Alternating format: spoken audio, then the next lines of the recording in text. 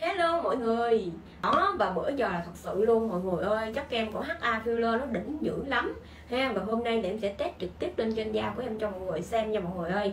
Và đây, đây là cái hũ HA Filler. Bữa giờ làm mưa làm gió thị trường mới ra mắt 3 ngày Mà làm điên đảo của thị trường luôn. Nó hot, vô cùng là hot luôn mọi người ơi.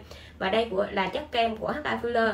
Và công dụng của nó là thứ nhất làm trắng da. Cái thứ hai là căng bóng mịn màng làn da. Cái thứ ba là xóa nhăn cực kỳ là hiệu quả luôn. Đó là tác dụng của sản phẩm HA Filler nha mọi người.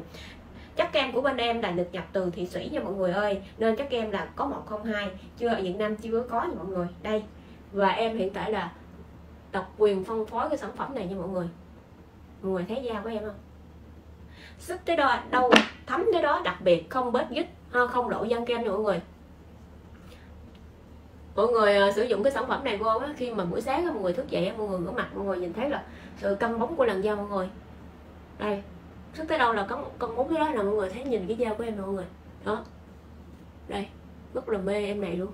Đây tại sao nó hot thì nói chung ra cái gì mà nó hot mà sản phẩm nào bán được thì nó cũng có nguyên nhân. Thứ, thứ nhất là chất lượng của sản phẩm. Thứ hai là nó có điều đặc biệt như thế nào thì nó mới hot cho mọi người mọi người xem sức nào? Mọi người sức hai ba lớp thì nó cũng không có bết kích và lộ như van kem đặc biệt. Cái vòng kem này nó là vậy.